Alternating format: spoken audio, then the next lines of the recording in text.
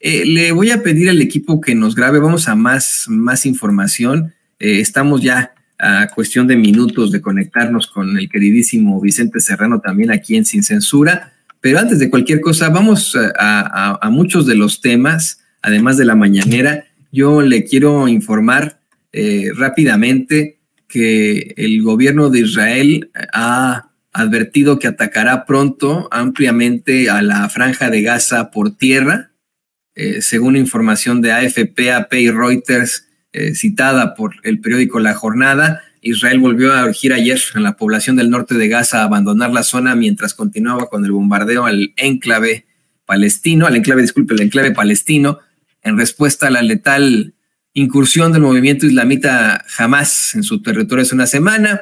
Eh, y mire, ante esto hubo una respuesta por parte del presidente Joe Biden. Mire lo que son las cosas. El presidente Biden eh, pues eh, dijo que la ocupación de Gaza por parte de Israel sería un gran error.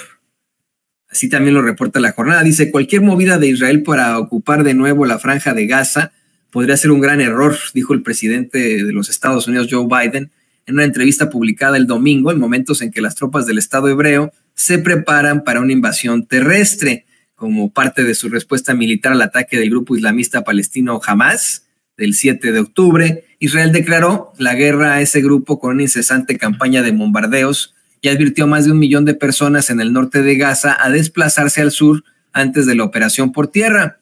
En una entrevista con el programa noticioso de CBS 60 Minutos, le preguntaron a Biden si apoyaría una ocupación de Gaza por parte de su aliado estadounidense, no de su aliado de Israel, a lo que respondió, creo que sería un gran error.